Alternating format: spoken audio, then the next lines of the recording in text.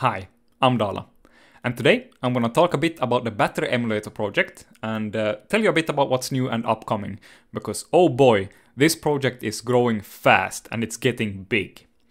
But before we dive into that, let's look at what is working.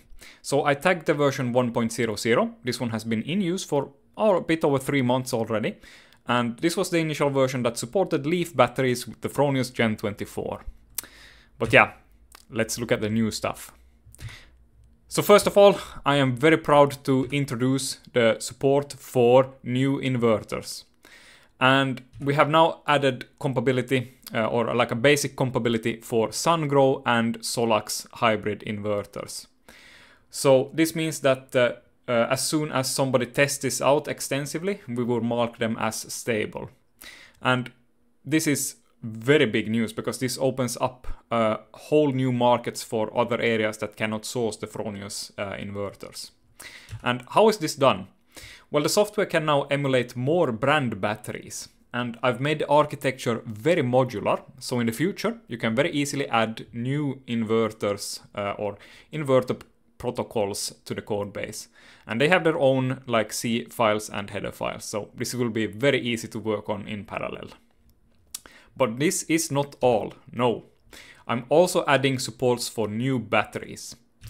And we're going hard and we're adding Tesla Model 3, Renault Zoe, Renault Kangoo batteries and Nissan ENV200 support.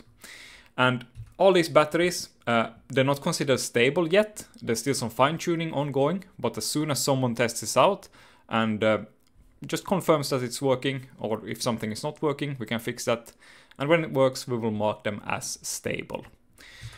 Again, this is done with the modular architecture. So if we look at what the code looks like now, instead of everything being in one single big file, each battery and communication protocol now have, has, have its own files, and this will make it very easy to cooperate on this code, and it's easy to only fix stuff that's broken or fine-tune something specific to one type of battery. And also, if you want to add more batteries, you just create a new file and yeah, add it to the project. So very cool. But that's not all. Uh, I've also added uh, cyclic redundancy checks for Leaf batteries and I'm gonna talk a bit about this, what this is. This is actually in use on my own uh, own uh, leaf pack already, so I know that this works. And here's a bit of backstory. If uh, the CAN wires are too close to the high voltage lines, the big magnetic fields can corrupt CAN messages. And if this happens and the, those corrupted messages are read and interpreted by the inverter, uh, your graphs will look very strange. You will have strange dips. It will look like the inverter is stopping, starting, just wreaking havoc on the system.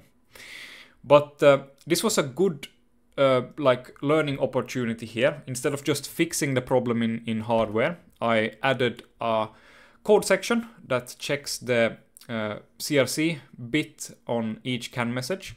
And um, if this doesn't match the content, then we just ignore that message so we don't get that uh, glitchy behavior.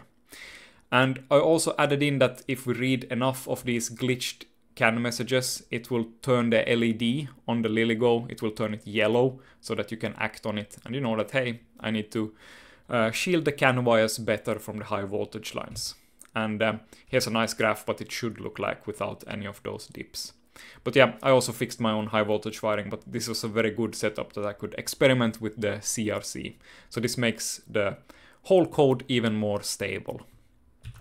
And another thing that's really amazing that's upcoming is uh, automatic contactor handling. This was something that a lot of you commented on on the uh, video that I made, that you didn't like that you had to manually turn on pre-charge, positive and negative contactors according to the sequence. So now the LilyGo board has the code and can handle this. You just need some additional electronics to make it happen. But this makes it much easier to install and use since you don't have to worry about that startup sequence. And there's no risk of accidentally destroying anything by flipping the wrong uh, switch at the wrong time.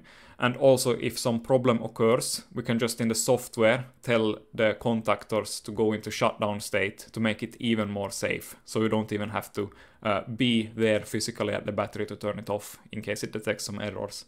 So this is an amazing upcoming feature that is, yeah, gonna be there finalized in the code soon. But yeah, uh, I think that's about it for this video. I've added a lot of things to the code, and if you are interested in joining in on the development or supporting this project, uh, I highly recommend you to hop onto my Patreon. I have a link in the description. If you join the Patreon, you can join the Discord server, and on this Discord server, you can chat with others that are adding batteries.